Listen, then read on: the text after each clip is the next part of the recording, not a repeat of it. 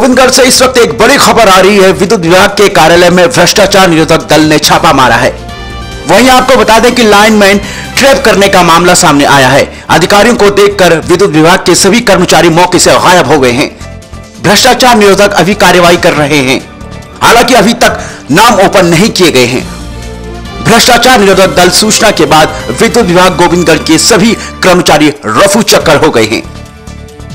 और इस खबर पर ज़्यादा जानकारी के लिए 24 टीवी नेटवर्क के संवाददाता कृष्णा सोलंकी जुड़ चुके हैं। उनसे ज़्यादा जानकारी देते हैं। सोलंकी जी क्या है ये पूरा मामला? जरा हमें बताइएगा।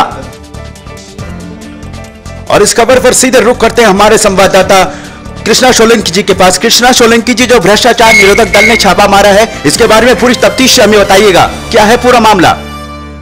भ्रष्टाचार की शिकायतें मिल रही थी जिसको लेकर आज कस्बे में विद्युत विभाग ने छापा मारा है आ, मौके से दो लाइनमैनों को गिरफ़्तार करने की सूचना मिल रही है।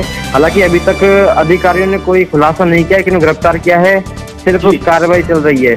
पूर्व में भी इनको लेके शिकायतें हुई थी कि गोविंदगढ़ में निःशुल्क कनेक्शन योजनाओं के तहत जेईएन और एईएन और लाइनमैन मिलकर दस दस हज़ार रुपये मांगते हैं। उसके बाद से ही निगाह यहाँ पे थी। चलिए बहुत बहुत शुक्रिया सोलंकी जी हमसे बात करने के लिए। इस खबर पर और ही तफ्तीश से जारी रखें।